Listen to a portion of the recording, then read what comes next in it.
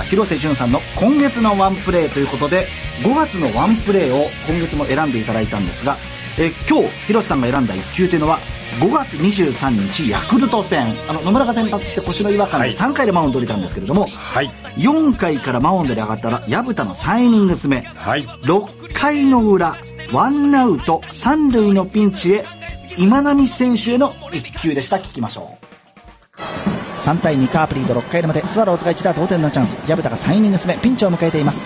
バッターボックス代打今波。ワンボールから第2球をキャッチャーまた打ちによる投げましたイサルスまた打ち上げた。これでいいんです。ショートフライ。ショートが取られ薮田踏ん張ったガッツポーズ。今年一番大きなガッツポーズを見せました薮田普段は寡黙な薮田が大きなガッツポーズを見せました。3イニングス目薮田和樹が踏ん張りましたということで、広瀬さん。はいなぜこの一球だったんですか、まあ、まあ、僕の感じた部分っていうのは、はいあやっぱりこう、先発をした野村が、ね、え降板をして、でその後のおゲーム展開の中で、まあ、誰が来るのかなと思った時に、はい薮田が来ました。で、薮田が、このピッチング、えーこれからそのね、薮田がどういう風にやるのかなということを見ながら見見てましたし、はい。薮田がこのチャンスをものにしたら、えー先発の枠に入ってくるだろうなというものを思いながら見てましたね。あ、そうなんですか。はい。まあちょっとロングという形で、はいえーね、まあききあの投げましたので、はいはい。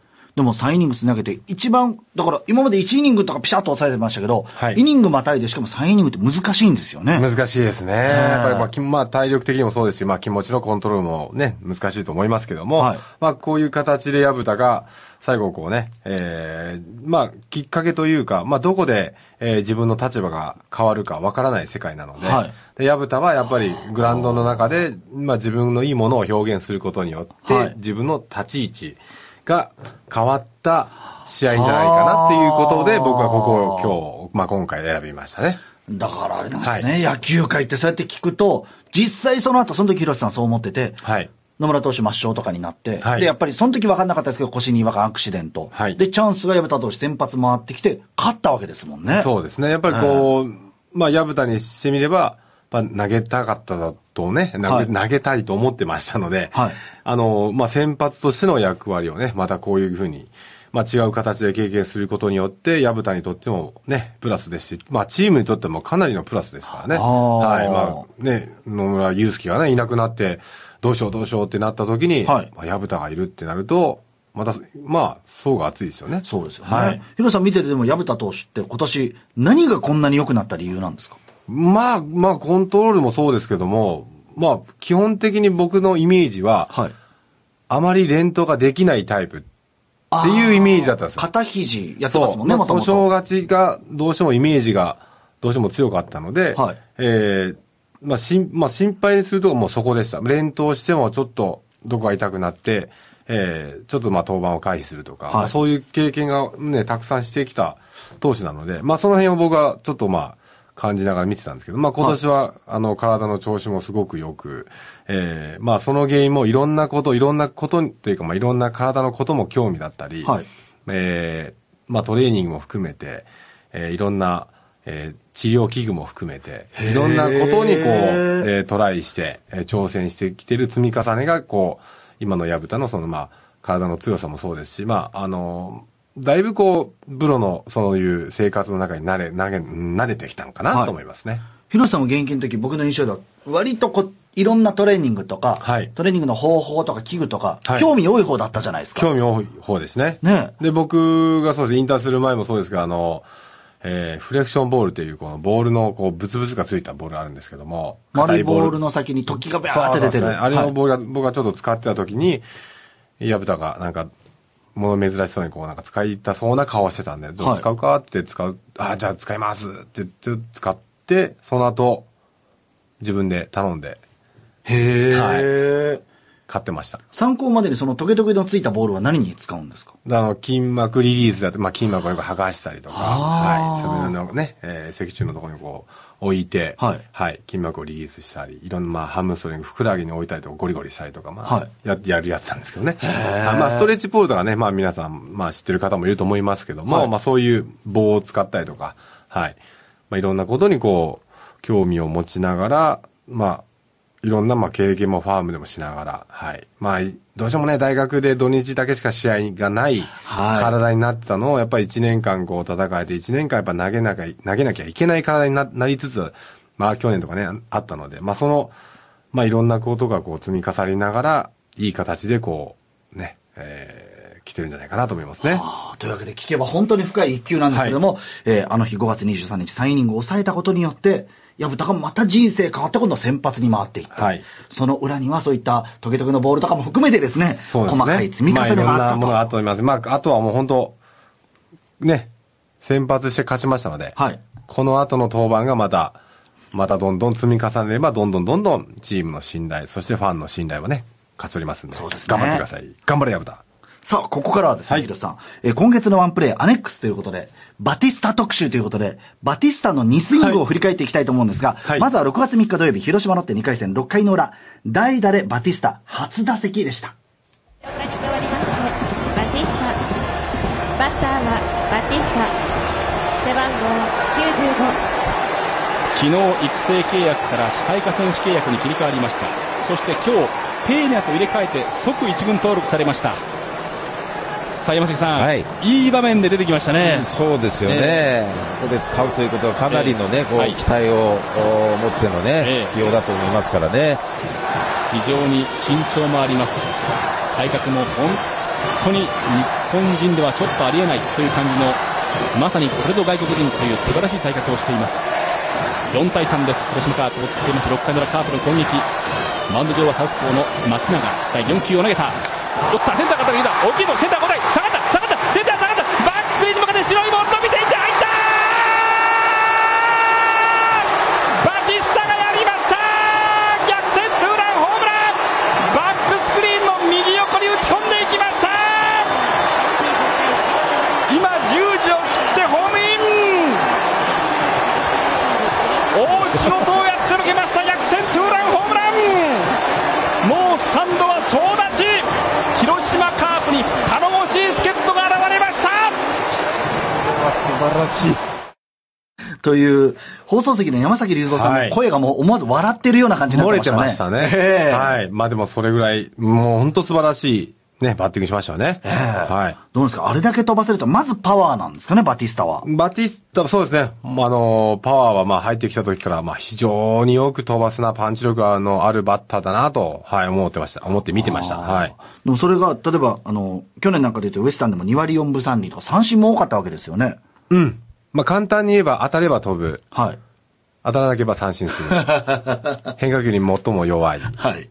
まっすぐを、最初はまっすぐをホームラン打ってたら、変化球をどんどん投げられて、変化球全く打てなかったら、どんどん変化球投げられて、はい全く打てなくなるっていう。そういうまあ、まあちょっとまあ弱い部分というか、逆転もいろいろこう出た、はい。フはあァーム生活だったなと思いますね。それでどうなんですか？ちょっとスイング変えたりとかってやっぱしたんですよね？まあ僕がすぐ見て思ったのは、まあ足の上げ方がまず違いましたし、はいえー、まあ二軍でやってる時は、一本足の気味で、こう反動というか勢いをつけながら、はい。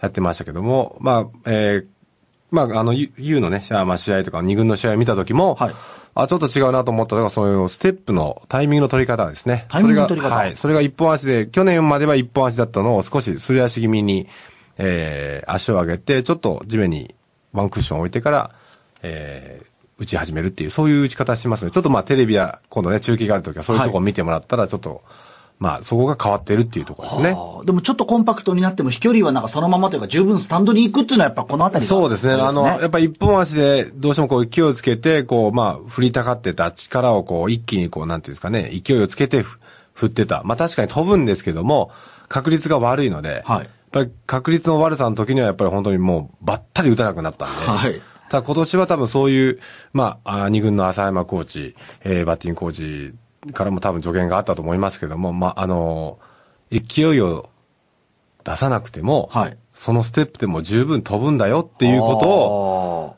あの、ちょっとこの前話しま、あの、話を聞いたんですけども、はい。やっぱり飛ぶっていうことを、あの、考えられるようになったんじゃないかなと思いますね。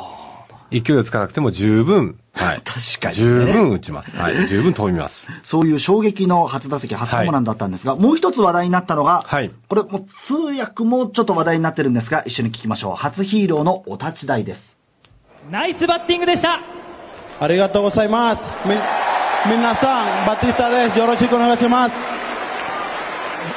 もう早速、流暢な日本語で挨拶をしていただきましたが、あの打席、どんな思いでバッターボックスに入ったんですか？高い損、勝負しました。で、コンパクトスイング、しっかりしました。やっぱり、芯で当たったから、まあ、本乱になりました。感謝の気持ち、どなたに一番伝えたいですか？やっぱり、あの、家族と、あの、チーム、カープのチームも、あの、あと、お客さんも、もう感謝します。最後にもう一度、自己紹介も含めてファンにメッセージをお願いします。Aunque me sigan apoyando y que sigan apoyando el equipo, que vamos a tratar de dar el 100% todos los días para ser los número uno. やっぱりあの毎日あの応援してまた来てください。で100%、100%しっかりします。これ、バティスタ選手の声を聞いてくださいって、ほとんどクレートさんの声じゃないですか、これ。うんそうですね。ねえあのーまあ、クレートも、あの、苦労人で、はいはい。ブルペンキャッチャーから、はい、ドミニカの、あの、カープアカデミーの、えーブルペンキャッチャーをしてから、カープに来て、はいでずっとな、ブルペンキャッチャー頑張って、で、自分で日本語も勉強して。はい。あの、たまたま昨日僕は、あの、夜ですね、はい食事に出かけた時に、はい。たまたま帰り道に、ふらっとお店をパッて見たら、バティスタとクレートがご飯を食べてて お前、お前何してるみたいな感じで。はい。ほんとは、ジュンさんみたいな感じ、カモンカモンみたいな、あの、言われたんで、はいほんで一緒に、はい、ちょっと、はい、ご飯食べてました。そうなんですか？はい。仕事でずっと一緒で、バティスタさんとクレートさんは、その後も夜も一緒だったんですね。そうですね。はい、一緒でした。で、まあ、クーちゃん、まあ、僕らあの、クレートのことをクーちゃん、クーちゃんって言うんですけど、はいクーちゃん、初めてのヒーローインタビュー、どうだった？っていうふうに、逆にクーちゃんに聞いたんですけど、はいはい。緊張しましたって言ってました。ちょっと、ちょっと、ちょっと、ちょっ今と、ちょっと緊張しましたって言ってましたね。はい。テイスト入れてますね。そうですね。はいこのコンビもちょっと名物になるかもしれませんね。そうですねはいだから、クレートさんも普段喋ると、もっともっと日本語、もう完全に流暢なので、やっぱり緊張感とかあったから。そうですね。たまに、たまにタメ語になります。え ヒロシさんに。そうですね。だよ、ど、なんか、なんとかさ、みたいな。あのさ、ジュンさんみたいな感じで。ジュンさんって言ってるけど、その前にあのさ、とかっていう。あのさ、カジュアルなんですね、そうですね。たまにこう、はい。たまにタメ語になる通訳がもう、まあ面白いなと思います。はい。でも結構いろんな広島のこととかもよく知ってて、はいうちの会社も人事異動あるじゃないですか。はいああのディレクターのなんとかさんは、どうしたんですか？最近見ないですねって言うんで、あ、あの、テレビで元なり作るようになりましたって言ったら、元なりですか？よかったですねって元なり知ってるんだっていう。見てるんですよね見てるんでしょうかね。見てるんですねはい という、えクレートさんの情報だったんですよ。そう、バティスタのコーナーだったんですよ。はいえ衝撃は、まだまだ続きました。6月4日土曜日、広島ロッテ3回戦。2打席連続の、2試合連続の衝撃の一発でした。バティスタに対して5球を投げました。打ったレフトへ映画のようだドラマのようだうわ夢のようだすんごい超新星アラーデビューから2打席連続ホームランいずれも代打でホームラン映画を見ているようだドミニカンドリームバティスタ代打ホームランはホームイン2点追加2点追加6対1になりましたファンがびっくりしているベンチがおっとおっとみんな前に出てくる前に出てくる大騒ぎの一塁ベンチ6対1になりましたいやー、素晴らしいですね。ヒロシさん、この時あの、選手がベンチの前バーって出てきた時に、ヒロシさん選手の気持ちになったのか、下がれ下がれってやってましたもんね。そうですね。そうですね。でも、これはね、もう本当にナイスバッティングというか、もう素晴らしいですね。ちょっと本当にびっくりしました。僕も見てて。これなんかチームに勢いとか流れとか、それ以上のもん来るかもしれませんね。そうですね。本当にいい刺激を与えてると思いますし、まあ、あの、バティスタのはい成長を見たの、見たのは、やっぱりその前にハーフスイングしましたよね。はい。チェンジアップを。で、その後、あスリーボールワンストライクってなったんですけども、まあ、まっす、まあ普通だったらまっすぐを待つところを、はい本人はやっぱりチェンジアップを待ってたっていう。ほー。はい、スリーボールワンストライクからチェンジアップを待ってて、それを、まあ少し泳い泳いだけど打てることができたっていう、いうのはやっぱり、ね、えーここ2年間ファームでいろんな経験をやってきて、なかなかこう、スリーボールワンサイからでも、日本のね、投手の人は変化球からでも取れるピッチャーたくさんいますので、はいまあ、そういう経験が、もう本当にこう、普通に生きてんじゃないかなという感じがしますね。はあそうですね。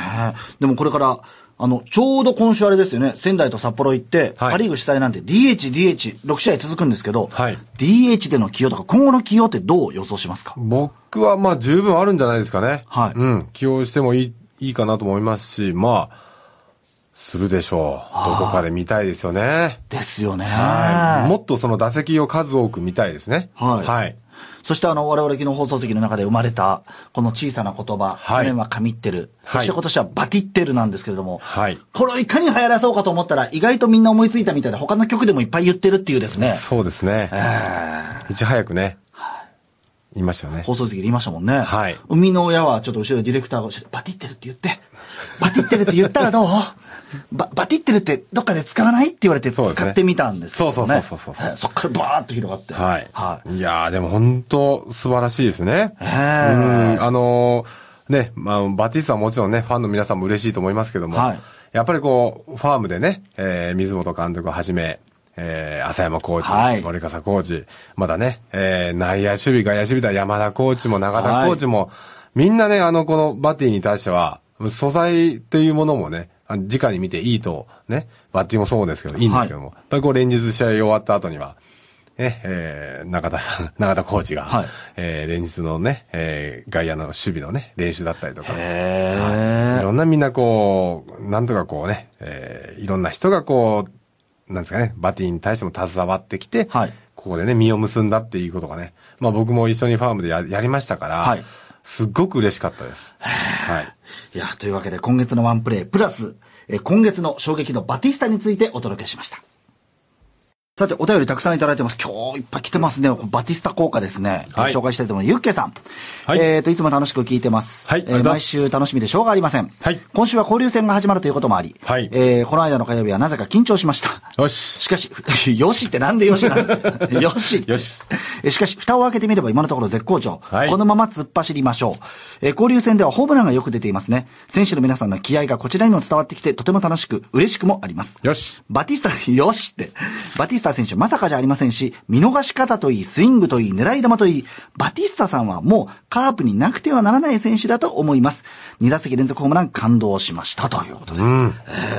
えよし。ーよし。もうこの通りですよね。はい。えーあのーその通りだと思いますね。はいあのー本当に、まあ、なんですかね、こう、ラッキー的な感じのホームランではないと思いますし、はい。ファームでね、えー3割、三冠を取ってるっていうことは、やっぱり並大抵の技術が、ある程度の並大抵の技術がないと打てませんし、はい勢いで打ててるっていうのはないと思いますね。嬉しいですね、はい。ま。あ、でも、でも、まあ、まだ2軍のボールしかあんまり見てませんから、はいまだこれからまあ苦しい時も来ると思います。ただ今はまだ情報がないだけに、はい一気にバティスタの勢いをチームに流して、あの、一気にこう、ダーッといってほしいですね。で、パリグラーって言って、今度セリーグまた当たって、いい、いい時に上がったかもしれませんね、これねはいえーそして、えっ、と、おすんさん。はい。ああ、これ結構来てますね。えっ、と、帰りのラジオを聞きながらなんですが、バリシャキナウでのメールで、絵に描いた餅のようなホームランのメールを聞きましたが、坂上さん、どんなホームランでしょうか？これ結構いただいてるんですよ。あの、説明するときのエルドレッドのホームランで私が、絵に描いた餅のようなホームランが現実になりましたはいみたいなこと言ったんですけど、はい。まあすみません、まあほぼノリで言ってるような感じでですね、う んまあなんとなくリズムで合えばいいかみたいはいはいはいはないところで、あの、だ絵に描いた餅っていうのは正しくは、絵に描いた餅は食べることはできないから、はあ計画がどんなに素晴らしくても実現しなければ役に立たないという例えで。だからなるほどこんなんちょっともう、こんな、こんなプランはちょっとできすぎでしょっていうぐらい、絵に描いた餅ぐらい、こ、こ、ここで一発はないでしょと思ってたら本当に出たから、絵に描いた餅が現実になったとはい。いうことで。ということです。ヒロさんも横で戸惑ってたんですね、じゃあね。はい、そうですね。はい。えーと、アスカ君さん。はいバティスタ選手の活躍はメヒア選手や、うんあの、励みやエルドレッド選手やペイナ選手への刺激になったでしょうか、うん外国人枠、歯がゆいですね、ということで。うん。いやーもちろんそうですよね。うんえー他の外国人選手も、すごく刺激になると思いますし、はいメヒアにもお間違いなく刺激になってると、なってると、僕もってなりますよね。そうですよね。はい。えーそして、フロレンス・ナイチンガールさん。えーバティスタをヒットにホームランがたくさん出ています。はいホームランは偉大です。一振りで点が入ります。歴史の授業で習ったフランシスコ・ザビエルは宣教師ですが、カープのザビエル・バティスタは神様ですね。いいネタ食ってきましたね。ザビエザビエルつながり？うん、なるほど。えーキャンプの時、伊藤監督はバティスタが欲しいと言ったけど断られたという情報をアニヤさんが言われていましたが、敵チームにいたら脅威でしたね、ということで。そうですね。カープで良かったですね。はあ、はい。本当ここの情報結構僕、会社の中から今日問い合わせの電話いっぱいかかってきて、うん。本当にロッテはバティスタを取ろうとしたんですか？つって。取ろうとしたわけじゃなくて、こういうのノリというか、いうことですね。そうでしょうね。ノリで言ったんでしょうね。ノリで言ったことそうです。はい。そんなこう、自分的なあれがあったわけではないとないうようなニュアンスをお伝えしたいなと思います。えっ、と、リュウ君ラブさん。バティスタ選手の代打2日連続のホームラン。戦列デビューには度肝を抜かれました。昨日は登場の場面でも凄まじい歓声でしたが、まさかのホームランを現地で体感できました。うんバティッテル。去年の交流戦で生まれたカミッテルに続いて流行語にして、年末の表彰式に行ってもらいたいですね、と。そうだ。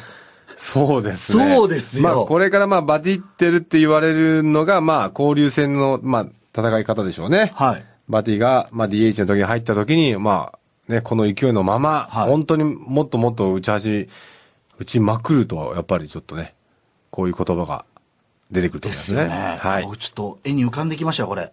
はい。絵に描いた餅じゃないですけど、はいあの、流行語大賞選ばれて、そこにバティスタとクレートさんが一緒に行くんです、通訳で。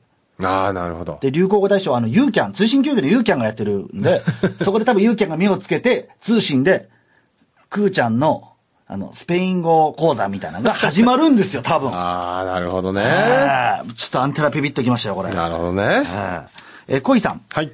えー交流戦のここまでですが、逆転負けで連勝が止まり、うん翌日は延長12回で力尽き、はいやっぱり鬼門なのかなと暗入になっていた矢先、えーバティッテル一発かける2、明日からの6連戦をパリーグしたいということで DH が使えます。はい。バティスタ選手の DH ほぼ確実かと思っていますが、逆に温存してチャンスまで牙を研ぐというのも戦略上ありかもしれませんね、という。まあそうですね。まあ両方できますよね。ええーまあバティスタを使うことによって、まあ、そうですね。まあ左ピッチャーの場合は、まあ右バッターの人がね、はい外野であれば、エルドレッド、ファースト、新井さはんですよね。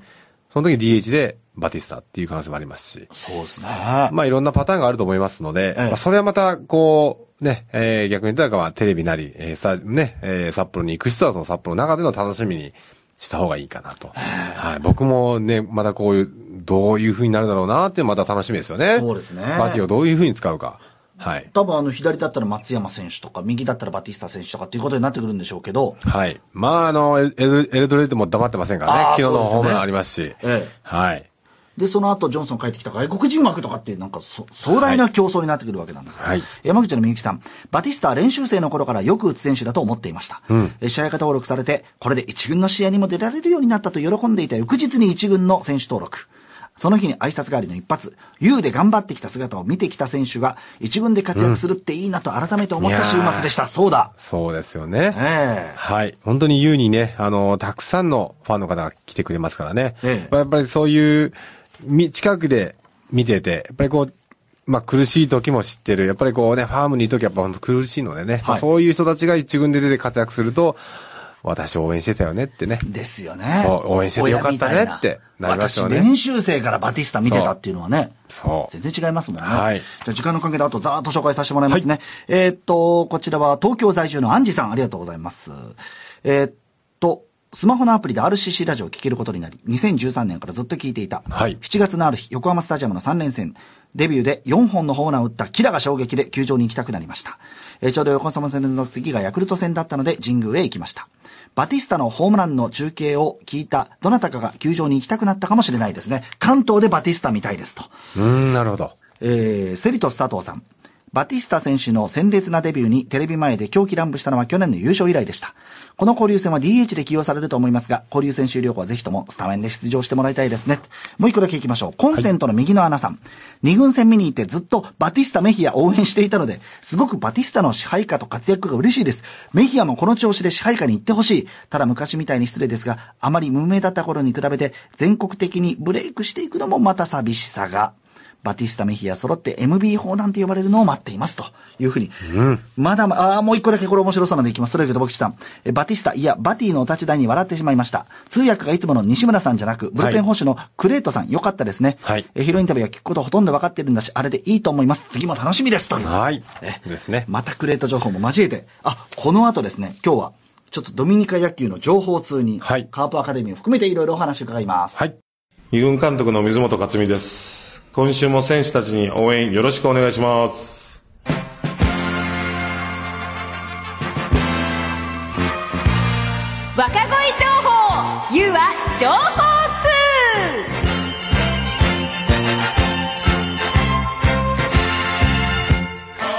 え今日は U は情報通特別編ということで、はい。えーもう U で育ったというとバティスタ選手ということで、うんえーちょっと詳しい方にお話聞きたいと思います。えー電話がつながっています。バティスタ選手を入団以来から取材し、はいドミニカ共和国のカープアカデミーでの取材経験もあるという、はい。えー野球ライターの森田和樹さんと電話がつながっています。森田さんこんばんは。こんばんは。よろしくお願いします。よろしくお願いします。よろしくお願いします。お願いします。森田さん嬉しいんじゃないですか、バティスタの活躍。いや、本当に嬉しいですね。ねまさかここまで順調に来るとは思ってなかったので、はい。はいもうびっくりしてますね。えー森田さん、あの、2015年、来日した当初の、取材されてると思うんですけど、来日当初のバティスタ選手ってどんな感じだったんですか？そうですね。まあ、バティスタ選手はその、15年の3月にアカデミーに入って、まあ、半年の来日というところで、はい僕はちょっとアカデミーにいた時に会ってなかったんですけれども、はい。まあ、古澤さん曰く、とにかくスイングスピードが速くて、はい。結構メンタルも勝負強くていいものあるとおっしゃってたんですけど、はい。で実際にまあ練習見てみると、あのロングティーで、あの外野の奥の、あの天福球場の奥の室内練習場あるじゃないですか。ああ、はいはいはい。あの、あそこの屋根を越えるあたりとかを結構打ってたりしてて、ええなんだこのパワーはと。結構他の選手たちも驚いてたっていうのが印象的ですね。えー、ヒロさん、天福球場の外野の向こうに室内練習場ありますけど、そこまで飛ばすことっていうのは、あそこまで多分飛ばすんでしょうね。ははい。まあ、いいパワーでしょ？あ、はあ、バックスクリーンも多分、どんどんどんどん打ち込んでると思います。あ、そうです。はいそんな選手って他にいました？今まで。まあ、外国人選手、まあ、なかなか見ないですね。まあ、日本人選手だったら、まあ、下鶴もね、はい。負けませんけどね。はい。でも、バティスタのパワーはもうすごいですよ。そうなんですね。はいでもそれだけのパワーで入ってきて、森田さん。バティスタ選手、課題はやっぱり森田さんあったんですかね？そうですね。まあ、パワーはすごいんですけれども、やっぱり、まあ、日本人投手の配球だとか、そういったところ、まあ、特に、まあ、変化球に大振りしたりだとか、まあ、実戦でやるにはまだもうちょっと練習が必要かなという。へえ。あの、そういった中で森田さん、2016年から17年にかけて、バティスタはどう変わってきたんですか？まあ、そうですね。まあ、特に去年、はい。あの、まあ、同郷のルナ選手の存在が結構大きかったんじゃないかなと。ルナの存在？はい。はい。やっぱり日日本の野球を知り尽くしてる、まあ、ルナから結構よく食事に、まあ、メヒアとかバティスタとかはいと言ってたみたいで、はい。そこで、まあ、どうしたらいいだとか野球の話をしてもらって。かなり勉強になったと言っていましたし、はい。まあ、そこでもう日本に慣れるためにはどうすればいいのかっていうの一番いい先生がタクにいてくれたのがはい良かったんじゃないですかね。それでだいぶどんどん去年試合ウエスタンとかで出ててはい。力をつけていったんだと思いますね。だいぶルナのおかげもあるんですね。はいそうね。はあうんあと、森田さん、いろいろお話しする中で、バティスタ選手、人柄というか性格はどんな人なんですか？結構ドミニカンって、まあ、まあ僕たち日本人と同じように結構様々な性格な人がいて、はい。まあ左投げの練習生のピッチャーでフランスはとかいるじゃないですか。彼なんかも非常にシャイなんですけれども、まあ、はいバティスタはそれ違ってまあかなり明るい人で、はい。僕は初めて会ったのがその2015年の秋のキャンプなんですけど、はい。でメヒアとはアカデミーで会ってたので、まあ、メヒアとはアカデミー内の再会で、まあ、元気ですか？と結構笑顔で挨拶したんですよ。はい。そしたら、なんか、バティスタ選手、初初対面なんですけれども、はい横から、こんにちはって、急に握手してきて。なんか友達の友達は友達みたいな感じ どっかで聞いたな。で、はいなんか、すごいいい人なんだろうなというはですね。あ。でも、森田さん、ドミニカのカープアカデミー行ったっていうことなんですけど、じゃあはい行くと、まあ、バティスタほどとは言わないまでも、ああいう感じの身体能力の人がゴロゴロいたりするんですか？そうですね、まあ結構、地域ごとにスカウトがいまして、ドミニカの中で。はい。で、そこで見つけた人をアカデミーでテスト、結構頻繁にしてるんですけれども、はい。僕が行ってた時にも、150オーバーの球をパーンって、そんなフォームから投げるかいみたいな人が いたりだとか、はい。でまあでもただ、やっぱりそこからいかに練習するかっていうところなんですよ。はい。そこでバティスタ選手なんか結構真面目だったんで、はい。もう言うことをちゃんと聞いて練習してやってったんだと思いますね。でまあ本当に素材がいい人はいっぱいいると思いますね。あ、そうですか。ヒロシさんもね、はいドミニカの練習生、一緒に練習見たりすることもあったと思うんですけど、はい。独特だったりしますもんね。こういうフォームから投げるのかって、割と。そうですね。まあ、独特というか、まあ、まあ、個性が強い。はい。えー癖が強い。いろんなタイプがありますよね。はいはい。あのーまあ、フランスはというお話もありましたけども、はい。まあ、ドミニカ感じ、ちょっとラテンのノリかなと思ったら、結構、シャイ、本当にシャイで。へはいー。あーそういうね、えー性格もいますし、はいまあ、メヒアとバティはまあ非常に元気な、はい。まあ、正確ないい子、素直な子っていうのは、えースペインというか、まあ、あのね、ラテン系の人も関係なく、日本もやっぱり素直な子は伸びますね。ああ、そうなんですね。はい。一緒ですね。はい。はあ。で、森田さん、あの、はい。ドミニカのカープアカデミーなんですけど、練習はどうなんですか？日本のキャンプとかと近いのか、ど、どうですか？どれぐらい基礎から教えてるとか、ある程度、もう完成した人が来てるのか、どんな感じなんですか？まあでも本当に基礎から教えてますね。はい。もう、やっぱり本当に努力をあんまりするっていう文化がなかったのか、はい割とキャッチボールであり、もう守備のノックだったりとか、はい。そういったところからまず基礎から教えてって、はい。で、メヒア選手なんかも、あの日本に来るためには何が必要かって、古澤さんずっと素振りさせてましたから。へえ。それで伸びて、2年越しの来日が叶ったというように、うん本当に基礎からはい。やらせてというところでしたね。はあ、じゃあ、ドミニカのカープアカデミーの選手にとって、やっぱり日本というのは相当憧れと言いますか、大きな舞台なんですか、そうですね。だいぶ、そういったところなんでしょうね。はあ。あの、最後森田さん、あのこれまでもいろんなロサリオとかいっぱい活躍したじゃないですか。はい今回このバティスタの活躍というのは、今アカデミーにいる選手とか、他のドミニカの選手に対する影響とか刺激っていうのはどうでしょうかね？まあそのメヒア選手って、あの、ロサリオ選手と同じ時期にアカデミーに入ってて、で、まあ、ロサリオが日本で活躍してるのを見て、すごいモチベーションになってたみたいなんで、はい。それとなんか同じように、今回バティスタとメヒアとかが頑張って日本で活躍して、もうそんな感じで憧れて、モチベーションになって、またいい選手が来るっていうふうになってほしいなと僕は思ってますね。はい。わかりました。どうもありがとうございました。ありがとうございました。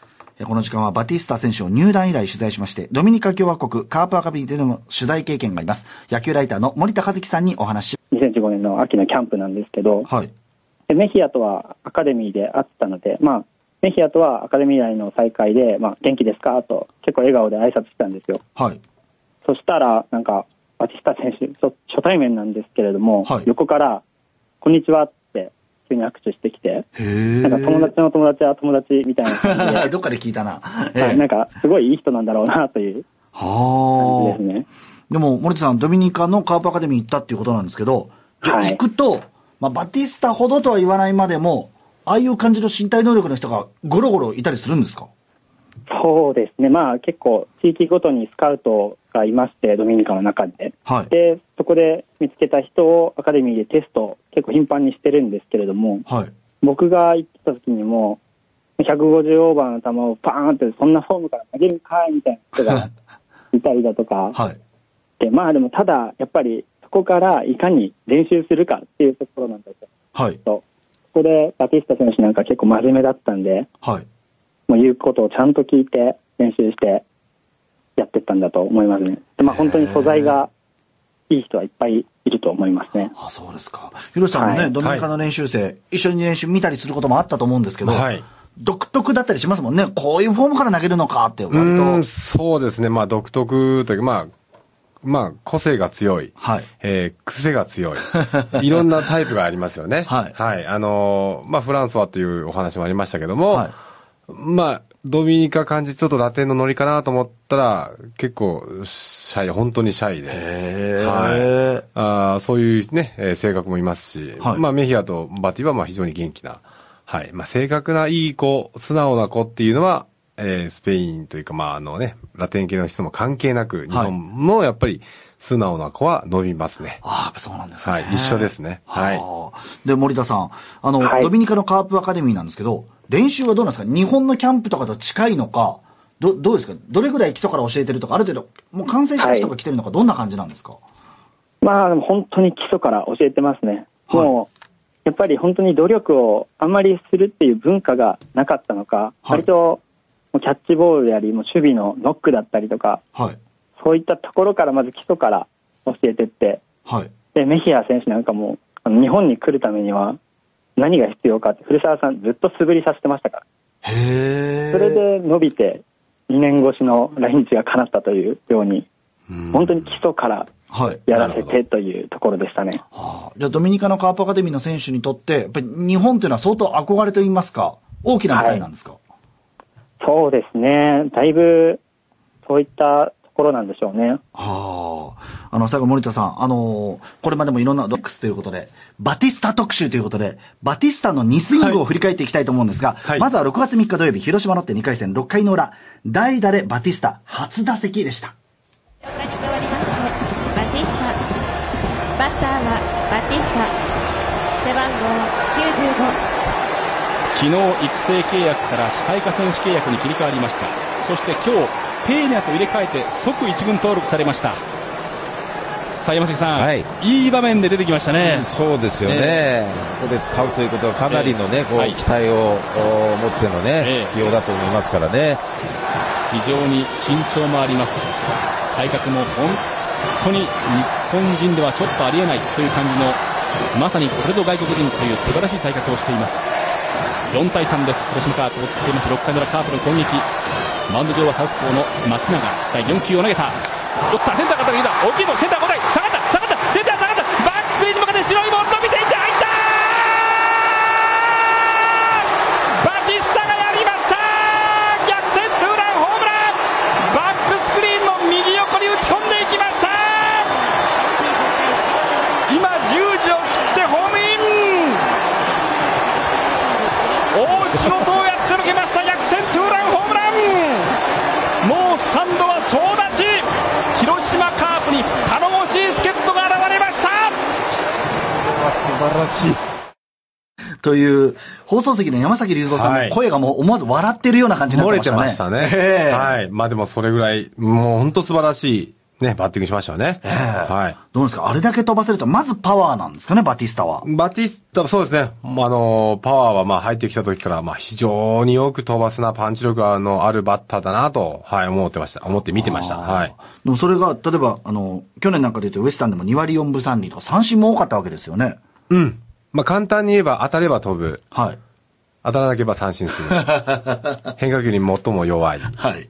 まっすぐを、最初はまっすぐをホームラン打ってたら、変化球をどんどん投げられて、変化球全く打てなくなったら、どんどん変化球投げられて、はい全く打てなくなるっていう、そういうまあ、まあちょっとまあ弱い部分というか、逆転もいろいろこう出た、はい、フはあァーム生活だったなと思いますね。それでどうなんですか？ちょっとスイング変えたりとかってやっぱしたんですよね？まあ僕がすぐ見て思ったのは、まあ足の上げ方がまず違いましたし、はいえー、まあ二軍でやってる時は、一本足の気味で、こう反動というか勢いをつけながら、はい。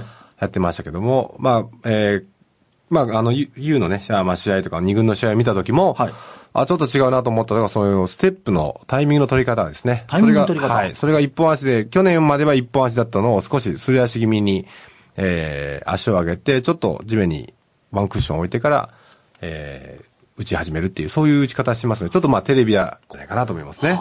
というわけで聞けば本当に深い一球なんですけれども、えーあの日5月23日3イニングを抑えたことによって、薮田がまた人生変わって今度は先発に回っていった。はいその裏にはそういったトゲトゲのボールとかも含めてですね、そうですね。細かい積み重ねがあったと。まあ、いろんなものがあったと思います。まあ、あとはもう本当、ね、先発して勝ちましたので、はい。この後の登板がまた、またどんどん積み重ねれば、どんどんどんどんチームの信頼、そしてファンの信頼はね、勝ち取りますんで、そうですね。頑張ってください。頑張れ、薮田。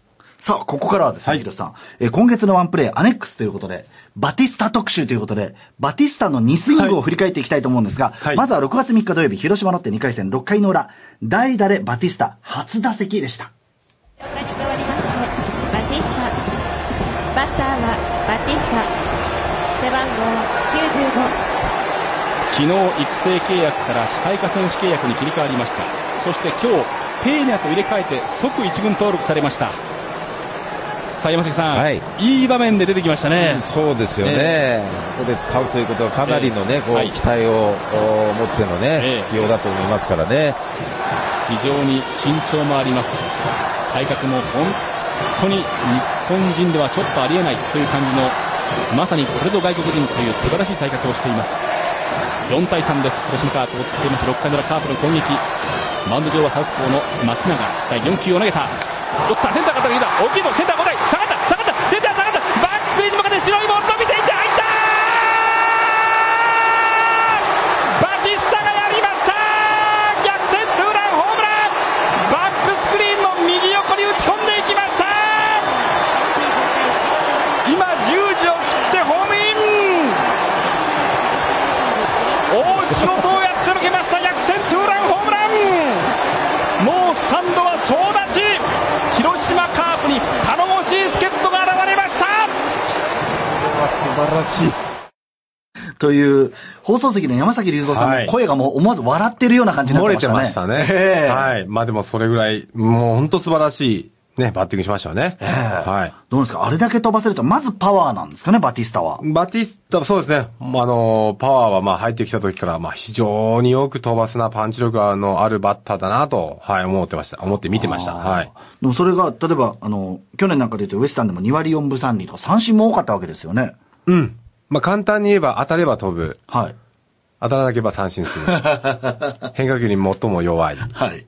まっすぐを、最初はまっすぐをホームラン打ってたら、変化球をどんどん投げられて、変化球全く打てなかったら、どんどん変化球投げられて、全く打てなくなるっていう、はい、そういうまあ、まあちょっとまあ弱い部分というか、逆転もいろいろこう出た、はい、ファーム生活だったなと思いますね。それでどうなんですか？ちょっとスイング変えたりとかってやっぱしたんですよね。まあ僕。の中継を聞いた、どなたかが球場に行きたくなったかもしれないですね。関東でバティスタみたいですと。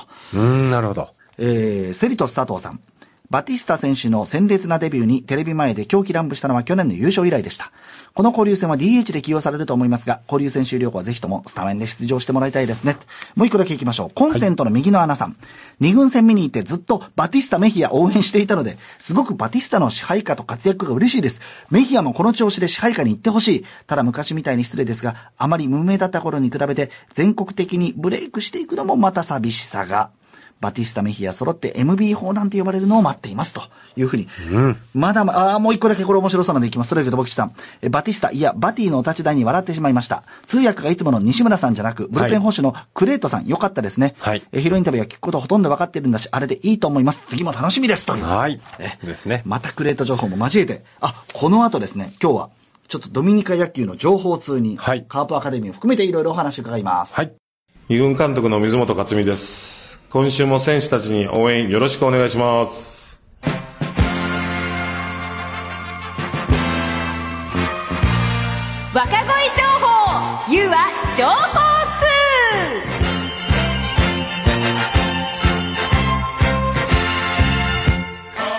え今日は U は情報通特別編ということで、はい、えー、もう U で育ったというとバティスタ選手ということで、うん、えー、ちょっと詳しい方にお話聞きたいと思います。電話がつながっています。バティスタ選手を入団以来から取材し、はい、ドミニカ共和国のカープアカデミーでの取材経験もあるという、はい。えー、野球ライターの森田和樹さんと電話がつながっています。森さんこんばんは。こんばんは。よろしくお願いします。よろしくお願いします。よろしくお願いします。お願いします。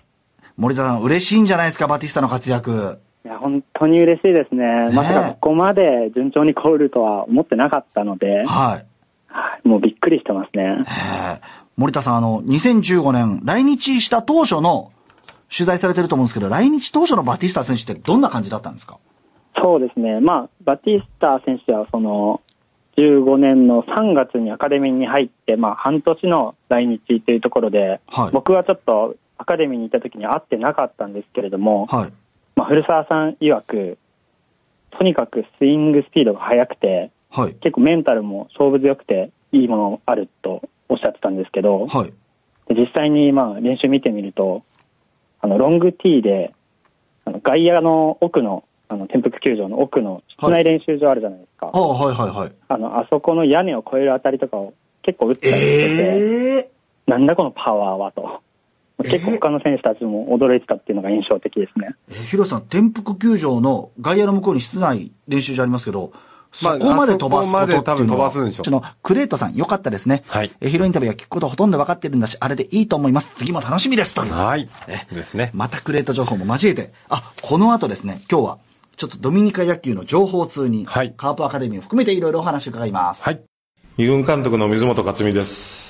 今週も選手たちに応援よろしくお願いします。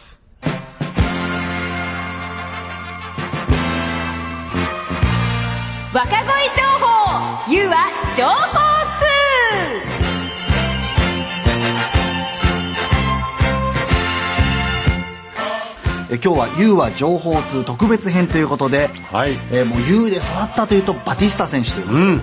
えーちょっと詳しい方にお話聞きたいと思います。えー電話がつながっています。バティスタ選手を入団以来から取材し、はいドミニカ共和国のカープアカデミーでの取材経験もあるという、はい。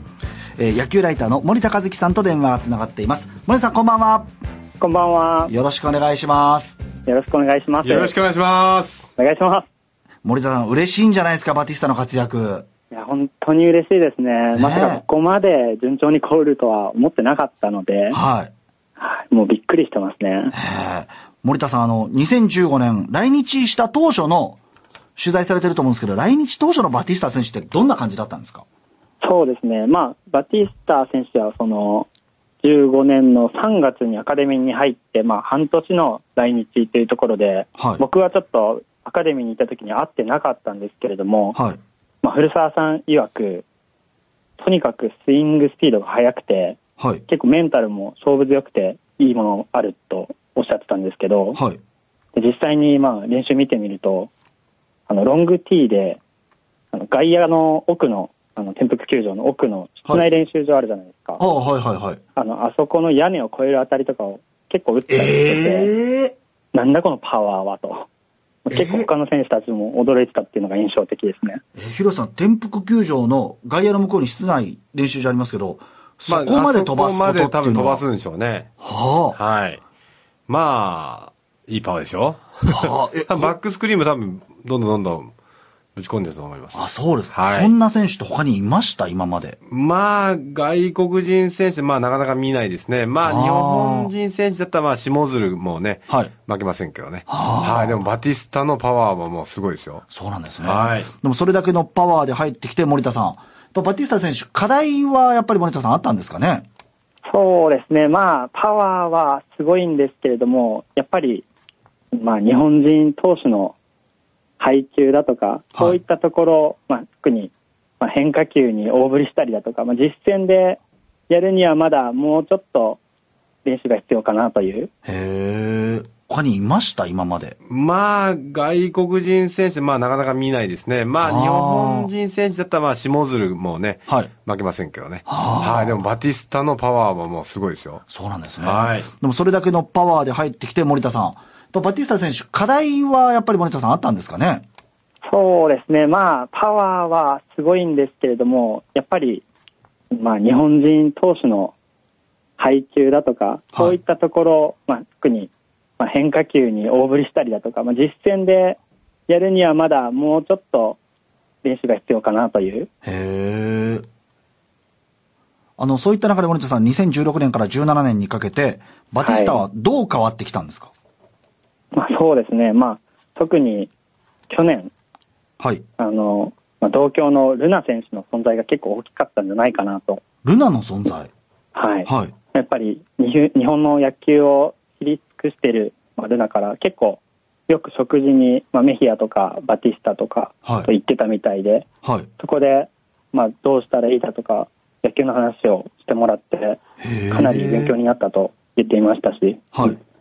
まあ、そこでもう日本に慣れるためにはどうすればいいのかっていう一番いい先生が近くにいてくれたのがはい良かったんじゃないですかね。それでだいぶどんどん去年試合ウエスタンとかで出ててはい。力をつけていったんだと思いますね。だいぶルナのおかげもあるんですね。はい。はあうん、あと、森田さん、いろいろお話しする中で、バティスタ選手、はい、人柄というか性格はどんな人なんですか？結構ドミニカンって、まあ、まあ、僕たち日本人と同じように結構様々な性格な人がいて、はい。まあ、左投げの練習生のピッチャーでフランスはとかいるじゃないですか。はい、彼なんかも非常にシャイなんですけれども、まあ、はい、バティスタはそれ違って、まあ、かなり明るい人で、はい。僕は初めて会ったのが、その、2015年の秋のキャンプなんですけど、はい。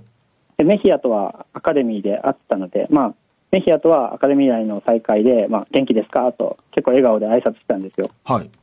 そしたら、なんか、バティスタ選手、初対面なんですけれども、はい、横から、こんにちは。って、急に握手してきて、へなんか友達の友達は友達みたいな感じで、どっかで聞いたな。えー、はい、なんか、すごいいい人なんだろうなという。感じですね。でも、森田さん、ドミニカのカープアカデミー行ったっていうことなんですけど、じゃあ行くと、まあ、バティスタほどとは言わないまでも、ああいう感じの身体能力の人がゴロゴロいたりするんですか？そうですね、まあ結構、地域ごとにスカウトがいまして、ドミニカの中で。はい、で、そこで見つけた人をアカデミーでテスト、結構頻繁にしてるんですけれども、はい、僕が行ってた時にも、150オーバーの球をパーンって、そんなフォームから投げるかいみたいな人がいたりだとか、はい、でまあでも、ただ、やっぱり、そこからいかに練習するかっていうところなんだと。3イニング抑えたことによって、薮田がまた人生変わった今度は先発に回っていった。はい、その裏にはそういったトゲトゲのボールとかも含めてですね、そうですね細かい積み重ねがあったと。まあ、いろんなものがあと思います。まあ、あとはもう本当、ね、先発して勝ちましたので、はい、この後の登板がまた、またどんどん積み重ねれば、どんどんどんどんチームの信頼、そしてファンの信頼はね、勝ち取りますんで、そうですね、頑張ってください。頑張れ、薮田。さあ、ここからはですね、広、はい、さん、えー、今月のワンプレー、アネックスということで、バティスタ特集ということで、バティスタの2スイングを振り返っていきたいと思うんですが、はい、まずは6月3日土曜日、広島ロッテ2回戦6回の裏、代打でバティスタ初打席でした。バティスタ。バッターはバティスタ。背番号95。昨日育成契約から支配下選手契約に切り替わりました。そして今日、ペーニャと入れ替えて即一軍登録されました。さあ山崎さん、はい、いい場面で出てきましたね。そうですよね、えー、ここで使うということはかなりのね、えー、期待を持ってのね、えー、起用だと思いますからね。非常に身長もあります。体格も本当に日本人ではちょっとありえないという感じの、まさにこれぞ外国人という素晴らしい体格をしています。4対3です。広島カープを追っています。6回の裏カープの攻撃。マウンド上はサウスポーの松永。第4球を投げた。打った。センターが高い大きいぞ。センター5台。下がった。下がった。センター下がった。バックスピーンに向かって白いボール伸びていって入った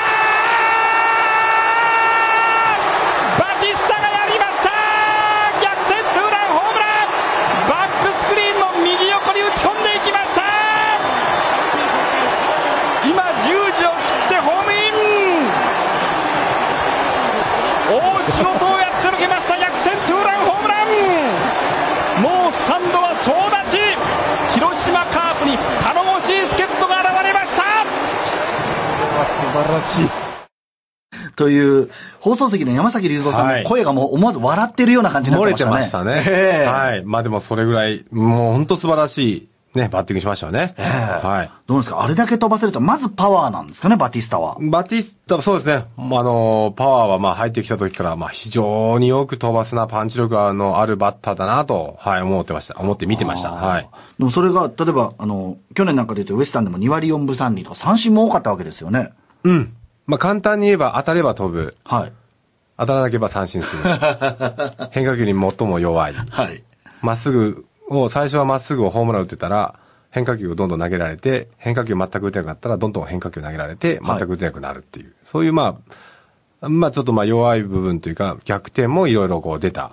はい。ファーム生活だったなと思いますね。それでどうなんですか？ちょっとスイング変えたりとかってやっぱしたんですよね？まあ僕がすぐ見て思ったのは、まあ足の上げ方がまず違いましたし、はい、えー、まあ2軍でやってる時は、じゃあ行くと、まあバティスタほどとは言わないまでも、ああいう感じの身体能力の人がゴロゴロいたりするんですか？